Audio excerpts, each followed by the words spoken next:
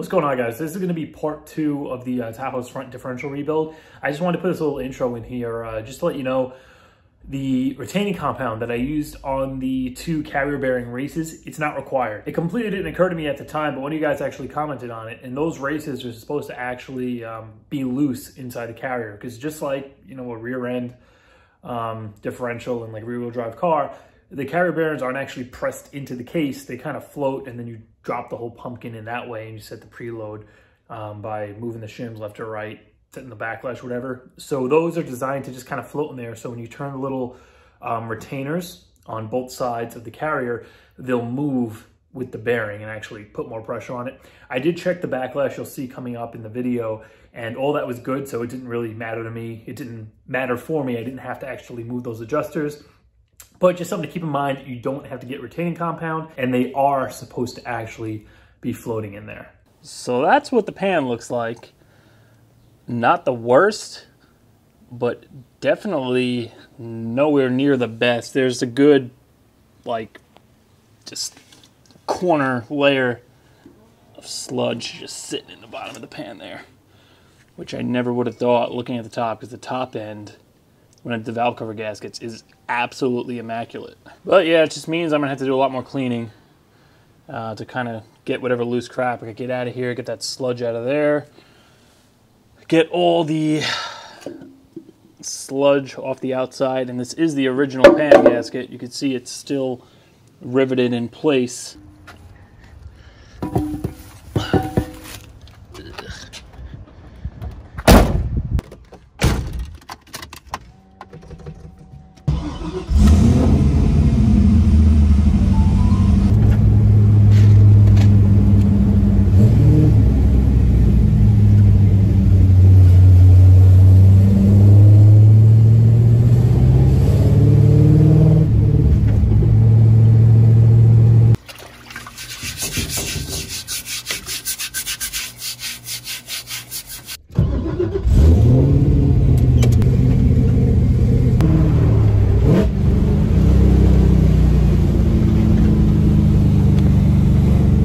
Guys, we're back at the garage. I just finished cleaning all the oil pan bolts off, get all that thick sludge off the heads. I went underneath, I got the block nice and clean. I cleaned off uh, the side of the cross member on the driver's side the best I could, got all that sludge off of there. The oil pan is ready to go. I just cleaned it out in the parts washer. All this stuff is basically just staining. It's not like really uh, chunky sludge. So uh, whatever didn't come off, I just left it. All the thick stuff that was in the bottom of the sump there, I was able to get out. I cleaned the uh, gasket surface just with some Scotch-Brite and a little brake clean. That got all of the uh, kicked on oil stains off really easily. And yeah, this thing looks a hell of a lot better than it did uh, just a few minutes ago. So uh, this guy's ready to go in. We got our new gasket right there. I got a new oil filter.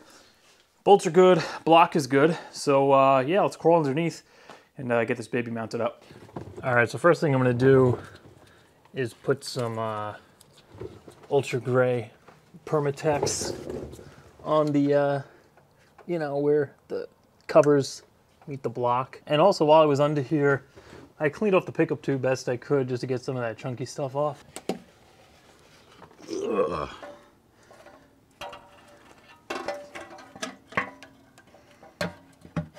Beautiful.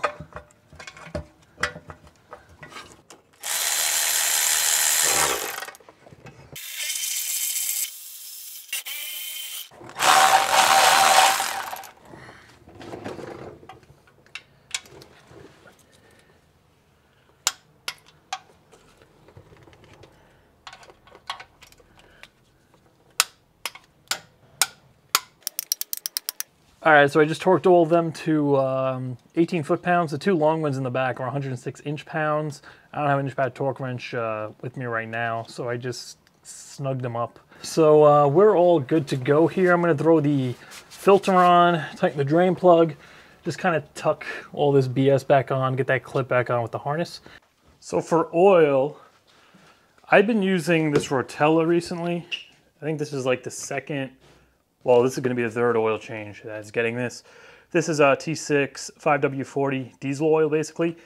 For the mileage um, and the wear protection that this offers, I figured it's a good idea. It's full synthetic, has a lot of good additives, and it's a little bit thicker. It's a 540 instead of a uh, 30. Oh, that's a mess. Woo, I just spilled a lot. All right, I'm gonna start it up. I don't think there's no reason not to. I mean, the front axle's just disconnected. It's not four-wheel drive. Should be all right.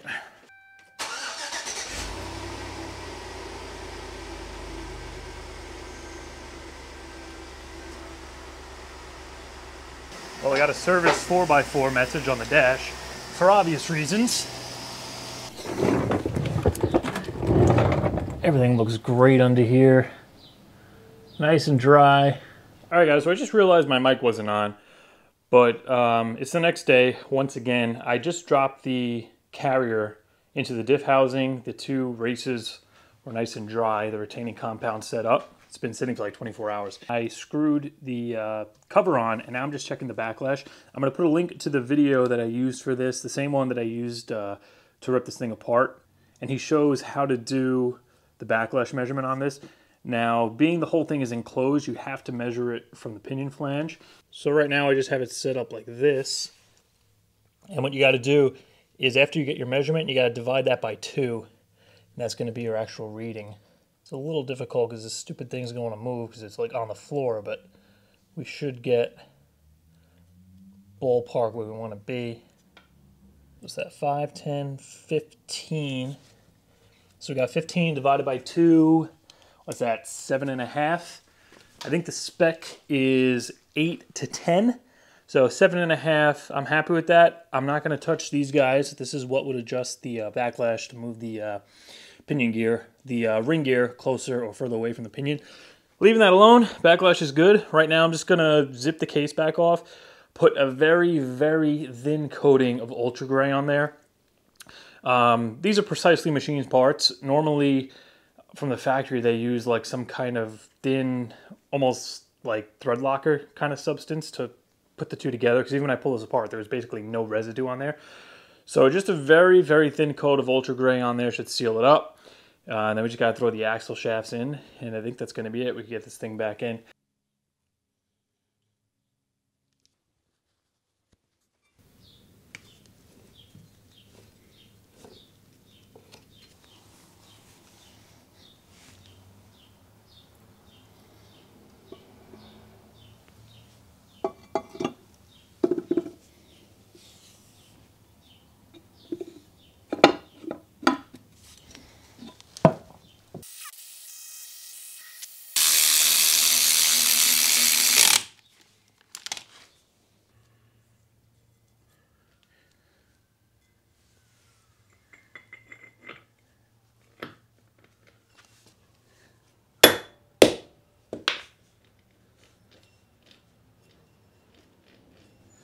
All right, now for the actual um, kind of synchronizer side with the axle and everything.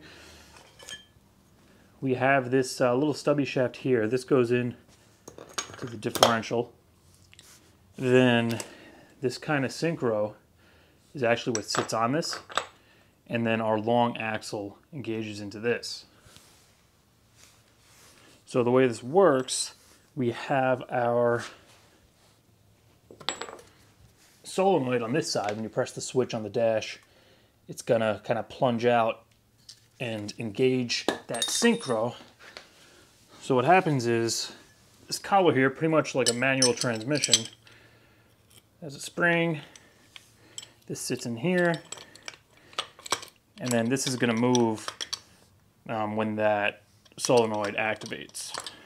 So you see that moves up and down like that. Uh, you're driving around two-wheel drive. This is just freewheeling you put it into four, that's going to lock onto that hub. And then uh, both front axles are going to be locked.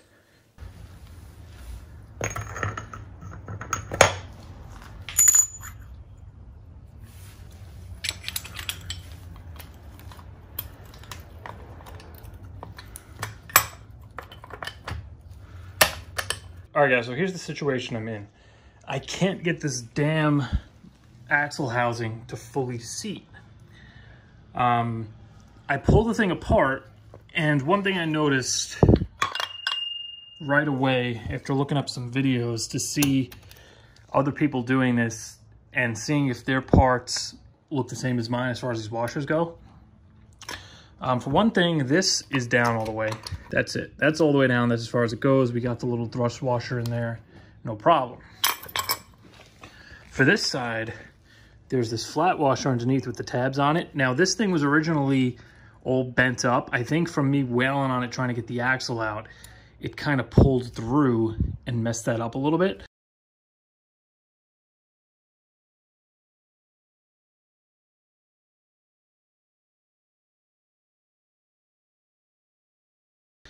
So that was on me. I pulled this apart and this bottom kind of washer here with the tabs on it, I hammered it flat because it was all kind of, it was slightly bent up. I just kind of reshaped it so it was concave. But from what I looked up, it doesn't look like it's supposed to be concave. It's supposed to be flat. It's just like a thrust uh, washer. All right, so I pulled this apart again and here's the thrust washer that was all kind of like bent up. I flattened that out and that just sits in there like that.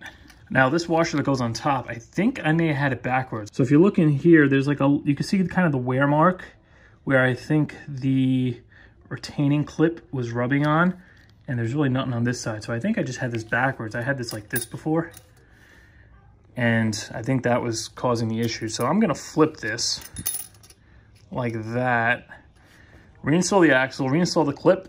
All right, so I'm just gonna drop this over here again.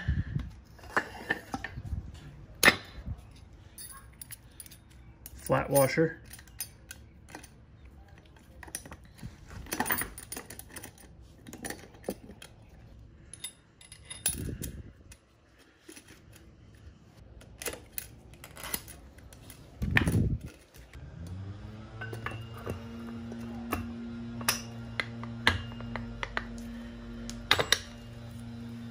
That was it. Ah, what a stupid little mistake. All right at least I got to figure it out. Just gonna pull this off again, put some more Ultra Gray on it, and uh, slap it back down, torque it, and that's gonna be it finally. So you can see that's disengaged. Axles spin independently of each other. And then once that's actually engaged, it's gonna lock those two together. And um, that's it. We're gonna have four by four. All right, that's it. Roll torque down to 34 foot-pounds. This thing's ready to go in. All right, guys. It's in. Now, if there's one, just one thing you get from this video, you know, just one thing, pull the damn center link. This thing would not go back up. I'm laying on my back trying to get the stupid thing in. The only point I was stuck at, the front bushing here, I couldn't swing it under the bracket to get it inside of it because it was this part down here, I believe, was hitting the um, the damn center link. So I'm like, I didn't want to pull it off because I thought it was going to be a bitch to get out, but I did change um, the pitman and the idler arms recently. So I zipped those off barely any taps. The thing came right down. And you can see how much farther down this is. It used to sit all the way up here. And from there, the effortlessly, I mean, it's still heavy as shit to do on your back, but it slid right into place without an issue. You can even get under here with a transmission jack. And uh, with this down, you could just jack this thing straight up and in there. Uh, definitely, even upon removal, I would have struggled a lot less if I just pulled this stupid thing to begin with.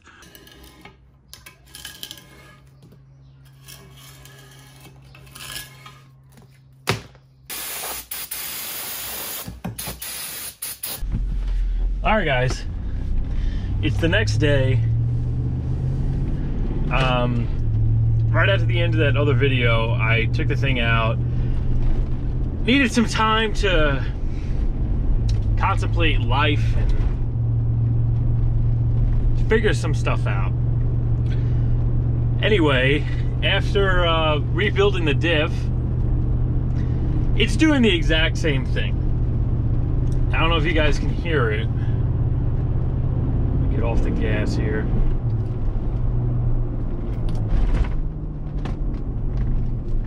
Same kind of whirring changes with speed noise uh, that it was doing before. It's absolutely no quieter and absolutely not louder.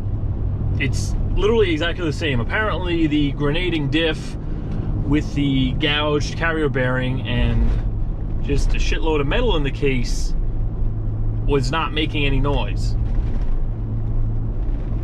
So after uh, looking some stuff up, I was Googling stuff. Maybe it could be the rear end and it's echoing through the transfer case and because I never actually pulled the cover and checked the rear end. Um, I knew it couldn't have been the transfer case because when I did the oil pump mount and did the transmission, everything in there looked immaculate. There was no metal, there was no nothing. Um, all the bearings were good.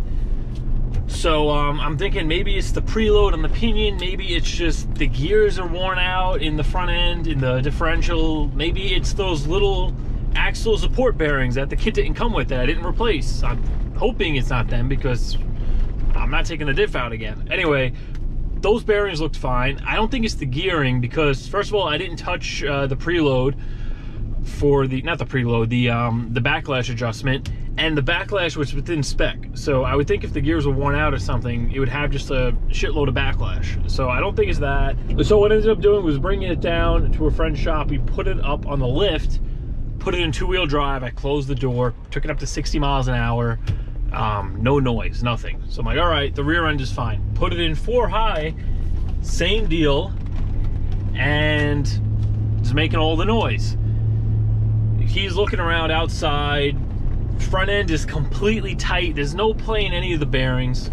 Um, left side is silent, goes over to the passenger side, loud noise. Just right away, we're like, it's probably a wheel bearing. So I took a screwdriver, I listened to the driver's side, dead silence. Listen to the passenger side, it's making a shitload of grinding noises. So I'm heading over to AutoZone now. I'm gonna grab two front hub bearings. They're like $130 each. We're just gonna swap them out and see if that fixes the noise. I'm still like, I can't believe that the the carrier bearing apparently wasn't making any noise at all. Um, I was sure that was the problem. And you're probably wondering, oh, well, you know, these bearings are a common problem on these trucks, and they are. Hub bearings always go bad on these things. The thing is, the ones on here are, they're freaking brand new. When I got this thing, granted, I put like 20,000 miles on it so far, somebody already put hub bearings in it, because when I pulled the brakes, it had new brakes, while when I pulled the wheels, it had new uh, brakes, and brand new hub bearings. And look at that, just like I suspected, we even have brand new hub bearings on the front.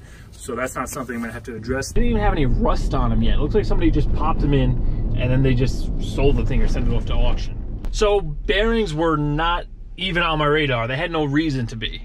Anyway, we're gonna go get some hub bearings. We're gonna pop them in quick. Luckily, it's a quick kind of bolt-in deal. Three bolts on each side, an electrical connector, and hopefully this annoying ass noise is finally gonna be gone. Wow, this thing sells a lot of meat on the brakes. I don't know what the hell kind of brakes they put on this thing, but damn. These pads got over 20K on them. These are the uh, the new brakes that this thing came with.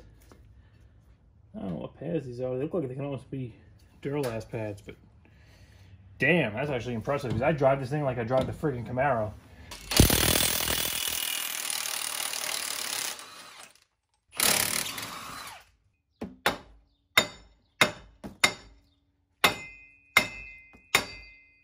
I never had this happen before on a low mileage bearing.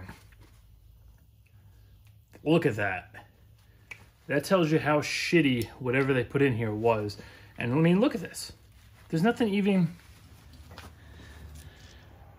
There's no wear there. The grease still looks good. There's no like rust or dirt in here. If this was bad, you would see all the bearings would be worn down. There'll be metal in here.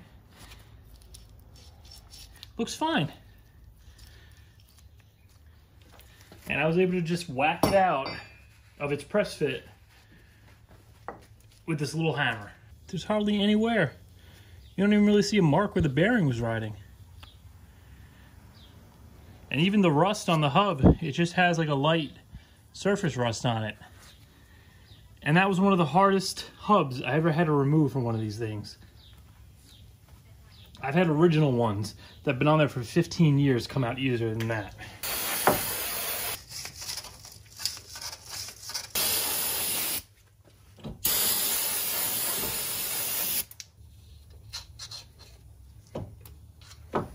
So I modified the backing plate a little bit because uh, these always get just tore up whenever you have to kind of pry one of these stupid things out. I just cut the corners that were really bent off because I wanted to put this back on, but I didn't want it um, to cause it not to sit flat or anything.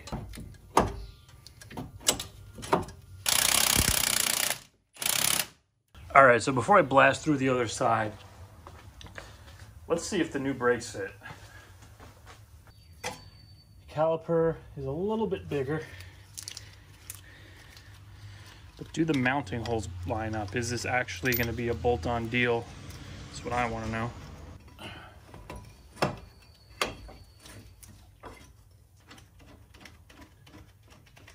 So they do bolt up and you can actually see that's where the pad is overhanging the rotor. So if we had the bigger 07 and up rotors, uh, these would fit perfectly. You can actually see how big that caliper looks uh, for the small rotor. But that's awesome. They are a bolt-on deal. It looks like the brake hose is actually the same. So if I actually had rotors, I could throw these on right now. But I want to clean them up first, give them a little paint job. And we will be putting these on in a future video. All right. All right, now this is the problem side. At least the side that I heard some noise on.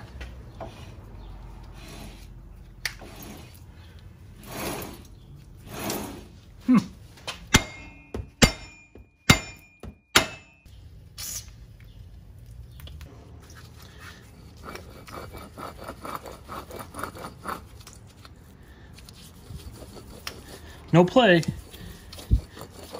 Just noisy as hell. All right, guys, first time on the road.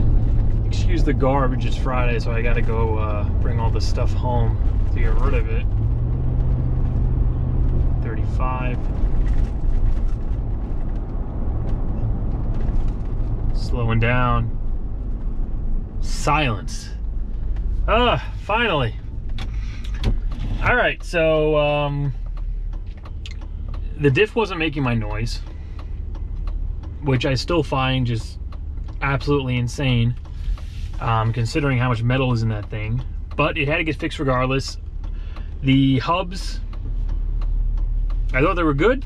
Turns out they weren't. So um, two hubs,